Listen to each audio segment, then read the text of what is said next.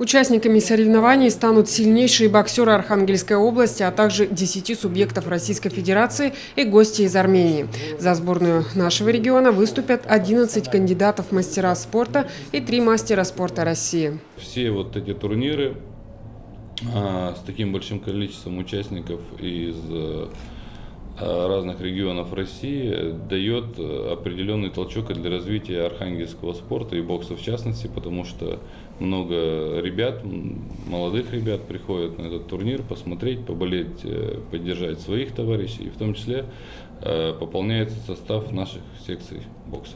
Всех любителей бокса ждут с 16 по 19 октября в Центре развития массового спорта «Норд-Арена».